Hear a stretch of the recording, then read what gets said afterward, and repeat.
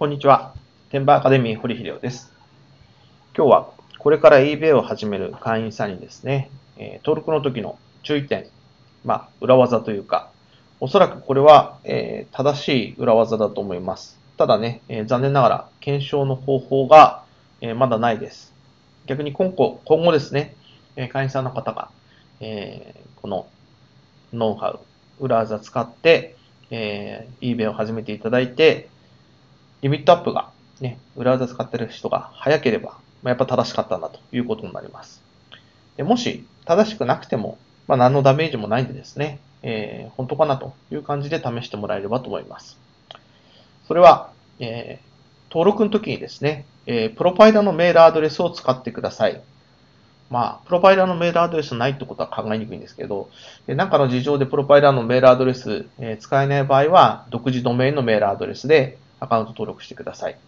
えー、Gmail とかね、フリーメールアドレスを使わないというのが、えー、一つの、一つのというか、えー、ポイントです。で、私は、まあ、勝手にリミットアップしてってですね、ほとんど、えー、何も使ってないのに、2ヶ月で8500ドルまでと、ね、取引5、600しかやってないので8500ドルまで勝手にアップしました。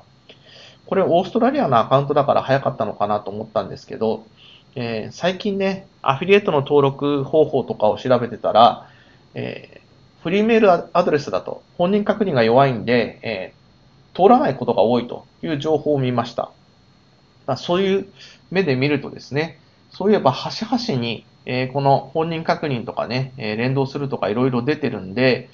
やっぱりフリーメールアドレスだと、えその人が誰か、それがわかりません。ところが、プロファイラーのメールアドレス、あるいは独自ドメインのメールアドレスだと、え誰が使ってると。で、それが PayPal と連動してるということになればですね、えー、問題になった人がまた、えー、アカウントを作ってるとか、えー、そういうことがね、え起こりにくい、え形になりますんで、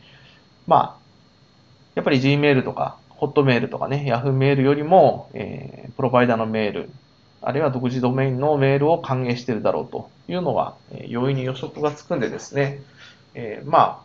大抵ね、え、あんま使ってない人も多いですけど、プロファイラーのメールアドレス皆さんお持ちですんで、そのメールアドレスを使って、え、登録してください。